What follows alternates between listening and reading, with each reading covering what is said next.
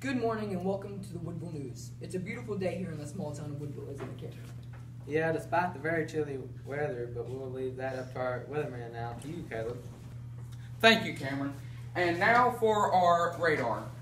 Really seems like there's not going to be much today. Um, there's not very much precipitation. It's pretty sunny, but it's very chilly, so make sure you got a jacket. Now for our five-day forecast. As you can see, today it's sunny with a high of 50 degrees and a low of 30. There's 0% partic- precipitation, wind 9 miles per hour. And the rest of the week it's looking pretty good until we get till Friday. It's going to be kind of cloudy. Then Saturday and Sunday it's going to be rainy. But besides that, it's looking pretty good. Back to you, Cameron. Thank you, Caleb, for that weather report.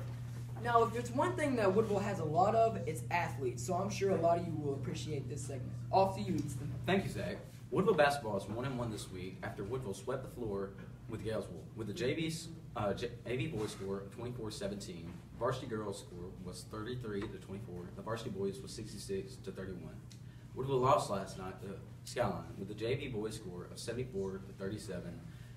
The varsity girls score of 68 to 6 and the varsity boys score of 91 to 60. Now to Brad with baseball. Batting practice began yesterday, and the first baseball game is February 20th at Pisgah, JV, boys, and varsity.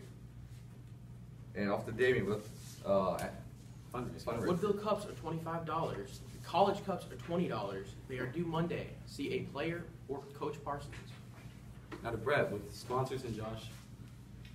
coming soon, Big Burger Brand Weekly Podcast. And up to Josh for Gatorade sponsor. A special thanks to Gatorade for sponsoring this lovely news company. It keeps it takes coaches beyond coaching. It keeps your athletes in the game, and overall, it's just delicious. Back to you, Zach.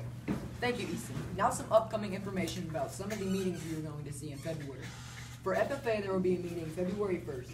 And February 20th, the state officer will be coming, and all of officers are informed to wear official dress. Also, if you're a part of FFA, the FFA week is February 17th to 24th. And now to Cameron, let's see, CLA meetings. On F, uh, February the 1st, there's a FCCLA meeting, and February the 15th, there is also a SGA meeting. Breaking news Tide Pods can kill you, kids. Alright, here we are behind the scenes of Woodville News. We have Zach B. Robertson.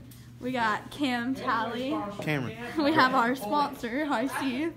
There's Trinity. We have our four sportsmen back here getting ready for their sports segment. Our weatherman, Caleb. And the man who put it all together, Coach Bubba Smith. Two